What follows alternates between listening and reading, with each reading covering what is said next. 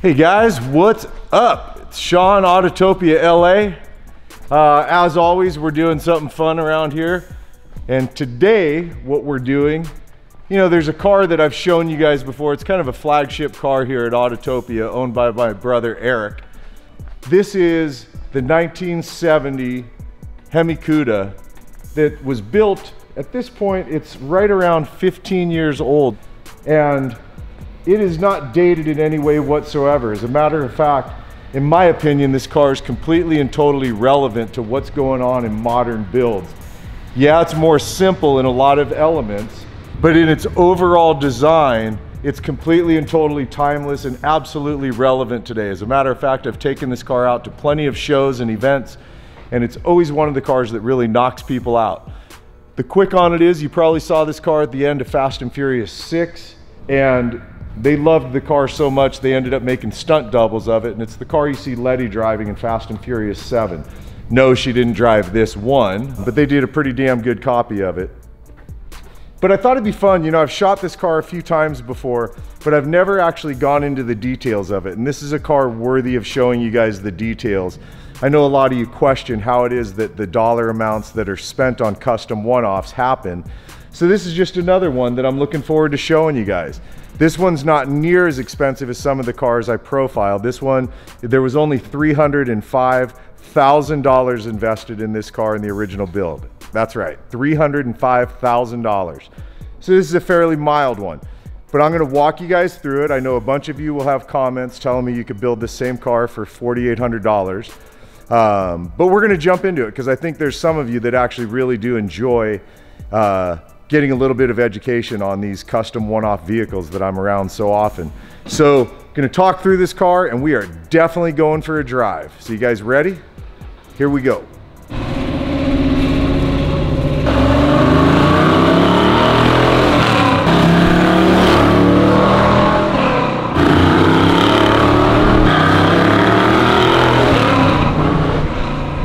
we're not giving away Vicious Mustang, although some of you thought we might. Mm -mm. Good try. We are giving away a Vicious Mustang hat. Today is our day. We're picking the winner. Now, we don't want anyone to think we're doing anything corrupt or anything like that here over a hat or anything else for that matter. So what we're doing is we're using a website that my friend uh, Mike Garcia recommended that's called commentpicker.com. So we enter in our URL for the Vicious Contest episode and we see who it picks. So are you guys ready to see who gets picked as the winner? I am. We're on the website. You guys see YouTube comment picker right here. We've entered the URL. We've done a search. We're about to find out who wins. You ready? You see the start button here? Da, da, da,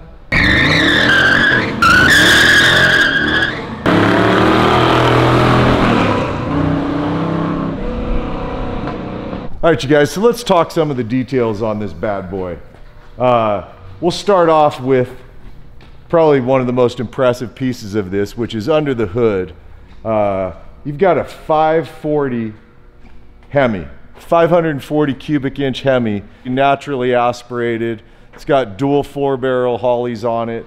This car makes an impressive 700 horsepower and it makes an even more impressive 700 foot-pounds of torque. I love that. 700 foot-pounds of torque is a total beast on this thing. One of my favorite pieces I always tell people to look at on this car is you got to bend down and take a look through the rear wheels on this car. Because when you get in here, what you realize is that it's got a Jag type rear end that's been refabbed to fit this car. So you've got the inset brakes giving a completely open, exposed view of the suspension back here, which is impressive. This car has dual coilovers on the rear. Is it stiff? Hell yes, it's stiff. And obviously you got this great matte top to it on the hood and running down the side, these matte stripes. I mean, you've got this paint that looks like oil dripped all over the car. It's such a killer black. And again, think about it. This was shot 15 years ago, man. One of the things on here that I can say is mildly dated, not bad, but it's mildly dated, is the, even though it does have four-wheel disc, it's got Will, Wilwood disc brakes all around on this car, typically in a modern build, you would definitely have a, a bigger front disc. You would probably have a 15, 15 and a half uh, front disc, but nonetheless, this car has plenty of stopping power. Personally, I love the wheels on here. It's not a company we hear a ton from anymore, but they are in existence. Fikse Wheels, F-I-K-S-E. I don't think you say it Fisk. I think it's Fix, but it could be Fisk. Either way, the wheels are cool on the car. I do love the Nitto custom Redline tires, which is not an easy one to come by. You want the raised custom Redline like you see on this car. What they do is shave down the outside, leaving a small section raised, and then it's painted red. Pretty damn cool look to bring in the red, ties into the little bit of red stitching on the interior. Um, some of the other mechanical points, it's got a Tremec T56 six-speed tranny, which is awesome because it really does allow you to use all of the motor. It's 391 gears. As we get into the interior on this car, um, those are Viper seats, man. Those are those are 90s Viper seats that just fit so well. Again, that's something that's mildly dated. The dash on this car is mildly dated, but for a 15-year-old car, it's not one, I've never once made an excuse for this car when I show it anywhere. This is a car you pull up, park, pop the hood, and watch everyone start to drool and ask everyone to please not touch.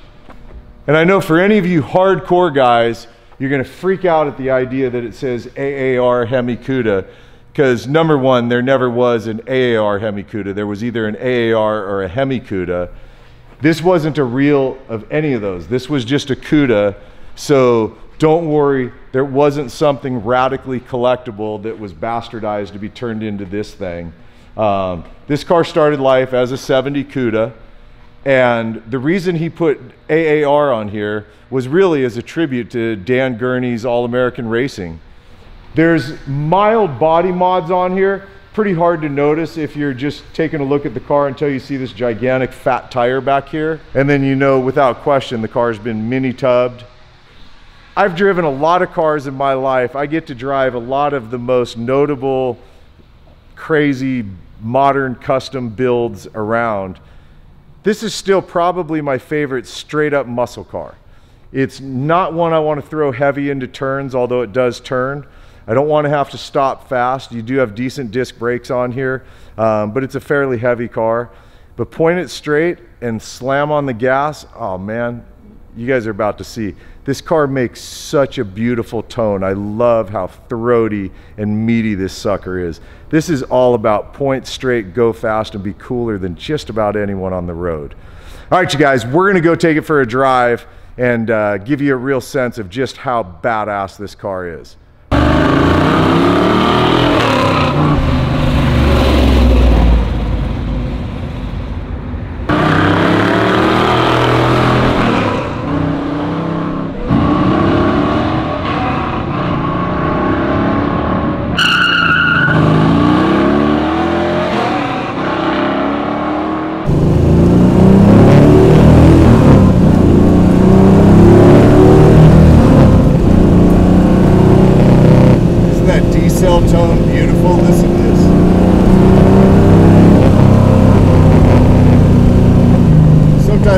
Short on how to describe the experience of driving any cars. A lot of times you hear me say, so cool, so cool. Uh, you know, I, I, I could probably do a lot better, but the truth is, I just find it amazing how many incredible cars I get the privilege of driving, and I truly mean a privilege. And oftentimes when you hear me talking, the best I got because I'm so in the moment of enjoying the experience of driving cars like this, that the best I got is, oh man, this thing's so cool.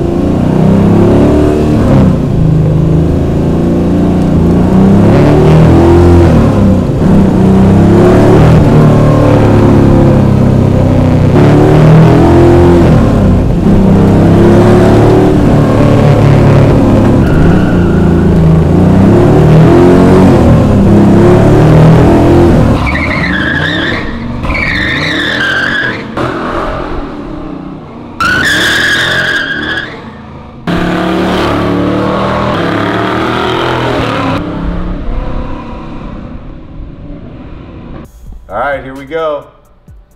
I'm a little nervous. Don't be nervous. I'm nervous. Don't be. It's a hat. Here we go. It's a hat. It's a hat. All right. So 42 people are not going to win, and one person is going to win. Oh, that's cool. Look at that. It really is. Jeff Daggs has won. The winner is Jeff Daggs. So Jeff, congratulations. For everyone else, I'm sorry, but please keep keep at it because we are definitely going to be doing this at least a couple times a month. So Jeff, congratulations. Hit me up on Instagram or here. Send me a message and uh, give me your address. Anything else I might need, which would probably just be your address, and I'll get a hat out to you right away, man. That's it for today, you guys. Thanks for hanging as always. Hope you enjoyed this episode, and I will see you in the next one. All right, man. Later.